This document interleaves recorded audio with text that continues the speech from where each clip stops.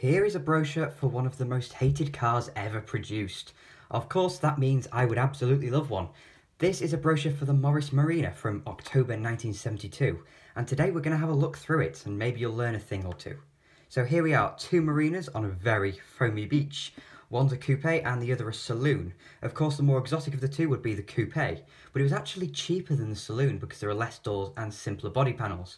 You can see a bit of cost cutting coming through with the doors on the coupe, which are the same length as those on the saloon. So the coupe doors look a little bit too short for the body. The new Morris Marina, beauty with brains behind it. Beauty? Yeah, I'll, I'll agree with that. I think Marinas are quite good looking. Designed by Roy Haynes, the same fella that did the Mark II Ford Cortina, and you can see more than a shade of the Mark II Escort in there as well that would be introduced in December, yeah, December 1974, uh, a few years after the Marina. Brains? Well, I think it depends on who you ask. The Marina was always designed to be a simple car. No front-wheel drive or clever suspension here. This was British Leyland returning to the simplicity that Ford did so well. The Austin brand would be more adventurously engineered cars, such as the Allegro, while the Morris brand was taking a retrograde step to conservative engineering to compete more directly with the Ford Cortina. You can see the little British Leyland badge up here next to the brains, and that's because it was the first BL car. The Maxi was a BMC design, so this was the first really, and most of the literature for the Marina promoted BL the company as well as Marina the car.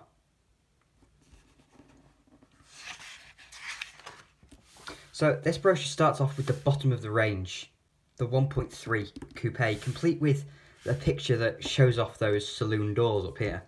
And it talks over here about aerodynamic styling, but it doesn't give any figures.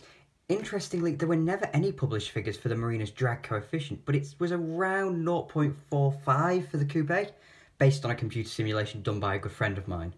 Uh, by modern standards, that's completely hopeless, but by 70s saloon standards, it's quite good. It's better than a 1979 Mustang Coupe, for example, which had a CD of 0.49. This being the 1.3 Marina, it uses the old faithful A-Series engine that you'd also find in a Mini.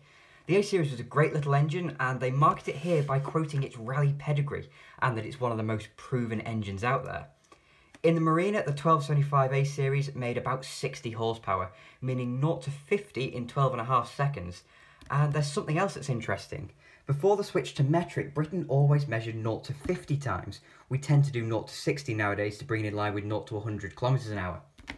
The bane of all older cars is rust, and lots of brochures boast about the preventative measures on their cars, and that's no different here. Every square inch of the Marina body shell is electro-coated with an even layer of protection, which is then sealed in by deep gloss paint. And then there's something else you seldom see, and which some manufacturers would prefer you to forget. The underside. Every model in the Marina range has an underbody sealing compound applied before it leaves the factory. 64 square feet of protection goes onto every car. Yet the application of underbody sealing compound is by no means standard on other cars of this kind of price. It's just British Leyland's way of ensuring the Marina enjoys a long and useful life. So note the grille on the front of the 1.3 Marinas. Marinas all had different grills depending on the engine, so as we flip the page we see the 1.8 Coupe, which in my opinion has a much smarter grille.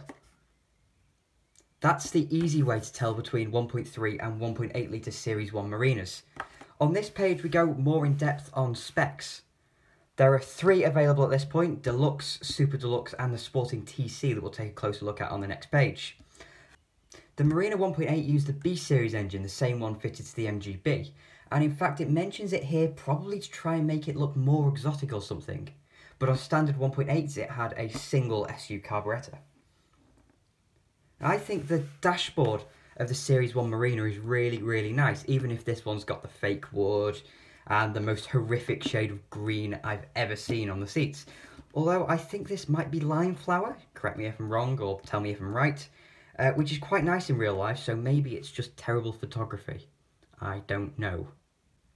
Over the page, and here is the 1.8 TC Coupe with twin carburetors, 93 brake horsepower, and 0 to 50 in 8.75 seconds. And that's pretty quick for a cheap family car from the era.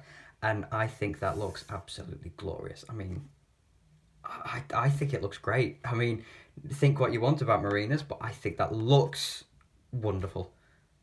But over here is where it kind of starts to fall apart because it starts to try and liken the Marina to its other British Leyland stablemates.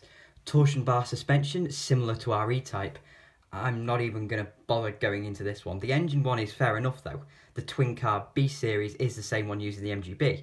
The name TC is an initialism for twin carburetors. This interior shot shows the dials with a tachometer because it's posh. Um, and it's the same cluster as the Mini 1275 GT. Uh, but yeah, that, that looks awesome. I do really like the way Marinas look.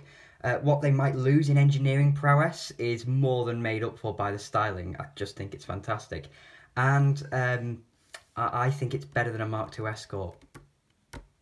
Please don't shoot me. And now we start again with the 1.3 Saloon. Again with the different grille. BL seems to care a little bit too much about the fact that the Marina has two proper body styles. It's just a bit of a shame they didn't fit the proper doors to the coupe then, isn't it? Um, and there's Steph's Marina up there.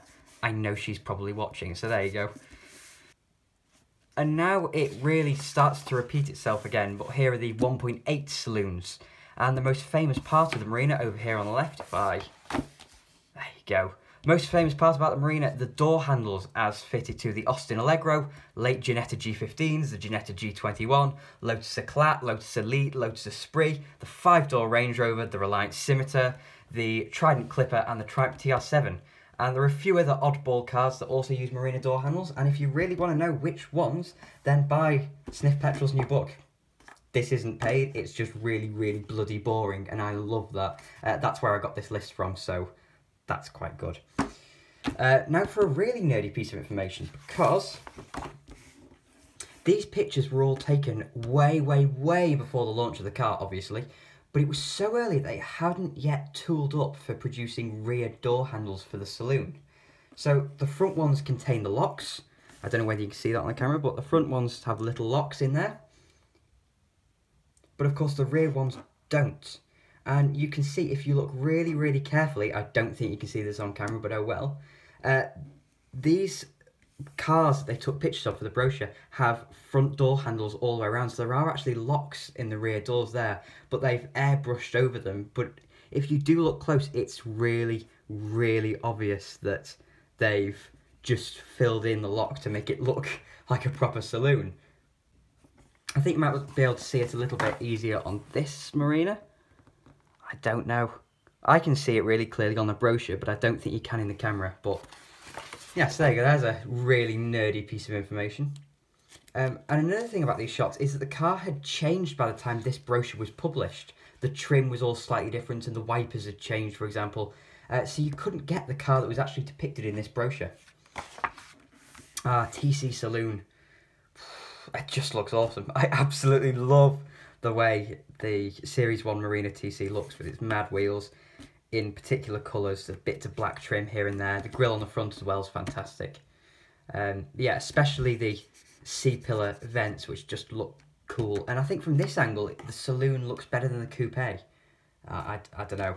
I like the coupe, but I think from this angle, the saloon. Anyway, enough power for 100 miles per hour and sports seats.